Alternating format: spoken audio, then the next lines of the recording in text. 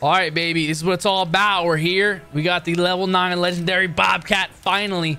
We've been trying to get this diamond ever since that fucking Bobcat bit my ass off the end of the quad when we were quad racing on Rancho. We were trolled once. This one will not troll us, dude. It will not. Here we go. Hope not. Beautiful shot. One shot. Yep. Insta kill. Well, well played. Let's check her out. And for our first diamond bobcat, please don't troll me. I swear to God.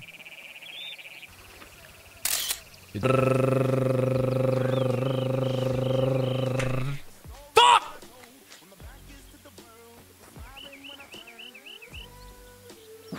The fucking troll, Vex. How far off was it? Point two. It's a 27.4. We needed a 27.6.